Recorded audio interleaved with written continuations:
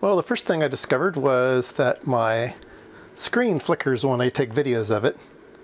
And usually uh, you can um, set your frame rate of your camera to be multiples of the frame rate of the screen and get rid of it, but it wasn't doing it here. But in the config menus, you can actually set the refresh rate of your screen. You could set it to PAL, or you could set it to uh, NTSC, or uh, a normal mode. Normal mode is going to refresh it at some bizarre rate, and that was flickering with the camera. So now that I've set it to N NTSC, uh, I think the uh, video will be much better. So uh, I've been getting used to all of the features of this thing, and there's a ton of them. And uh, one of the interesting things is calibrating this thing. There's a cal button. And you press that cal button and then you wait 10 minutes. It calibrates everything. Oh my goodness, it takes, it takes a solid 10 minutes to do its whole calibration routine, so quite extensive. Okay, let's measure some signals. Uh, I'm going to be using the uh, Tiny SA. I'm going to, be uh, putting it into uh, RF generator mode. So I'll say mode switch to low out. And I'm going to be looking at 300 megahertz and I will turn that on. And I have the spectrum analyzer set to 300 megahertz peak. And um, so let's see here. Let's do a span. Let's see low modulation. Okay let's do AM modulation and there we go. We have AM modulation set.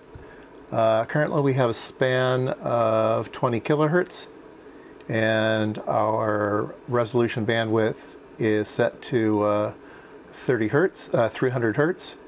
And so we can see these two side lobes, which are uh, 1000 hertz. Uh, we could even go a little farther in. Uh, let's see, where are we now? We're spanning, we're spanning 20 kilohertz. Let's span, oops, let's span 10 kilohertz.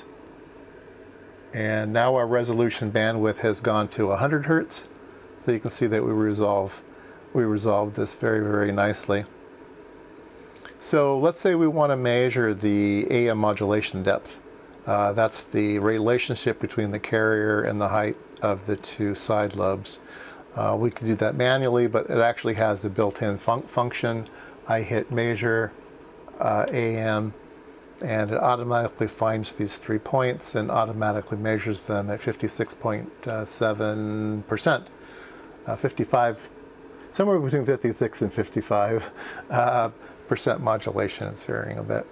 Uh, so automatic AM, AM uh, modulation, that's pretty, pretty cool.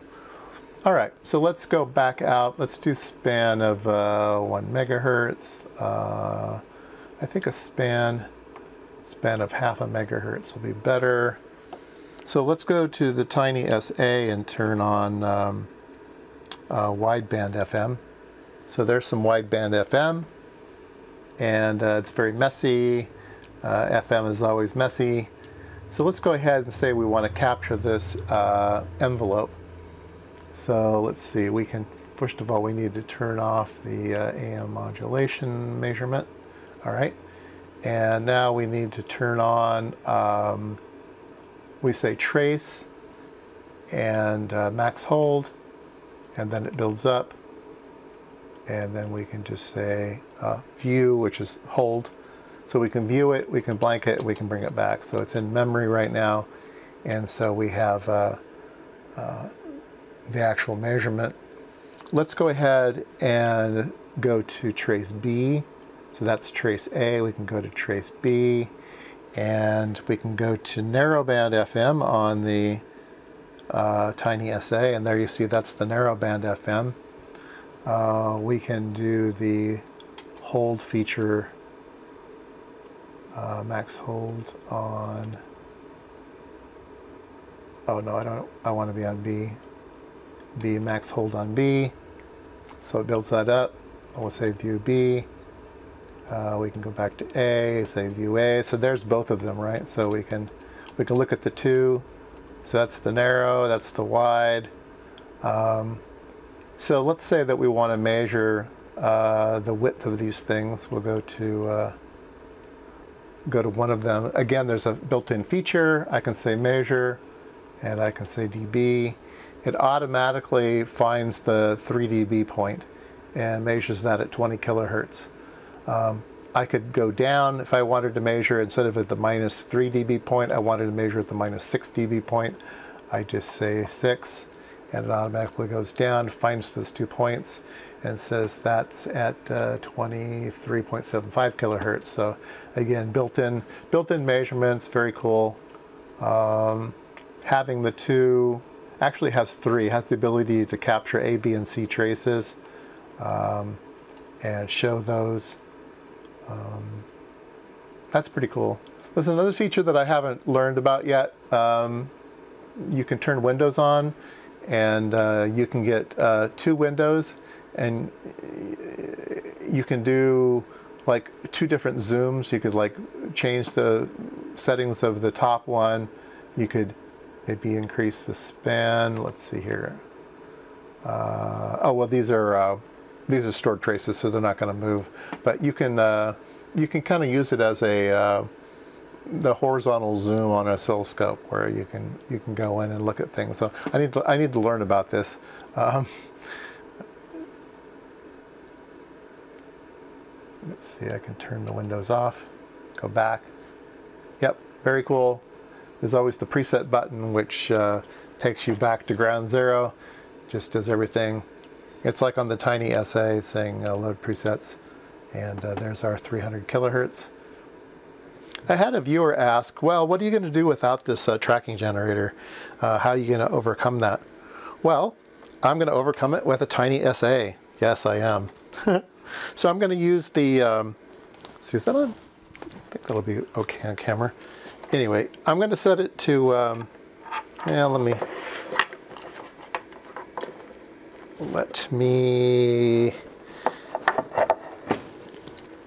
kind of set it here so I can zoom in on it.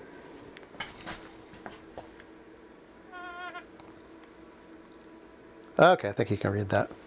So um, I am going to use the output mode and I'm going to set a center frequency. This time it's uh, 83 megahertz. I have an 83 megahertz filter that I want to sweep. And I'm going to turn on uh, sweeping. The Tiny SA can act as a generator. It can act as a sweep generator. So uh, it's going to output 83 megahertz at minus 15 dBm. It's not going to have any modulation.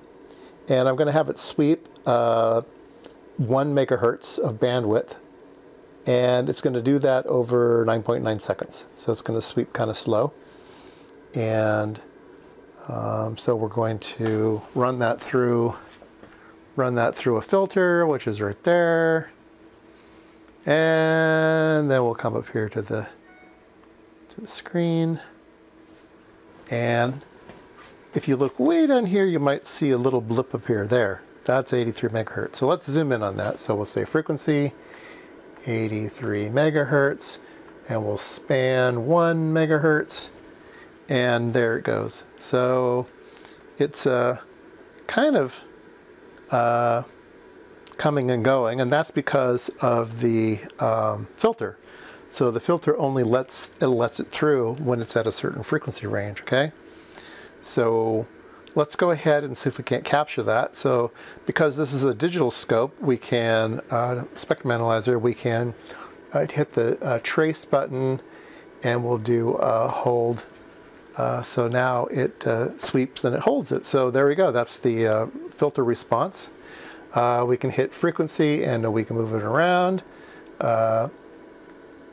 and put it here. Uh, we can change the amplitude and look at the floor. Uh, so there we go. Uh, looks pretty nice. And we can go back to trace. We can say go back to normal mode and then do the hold thing.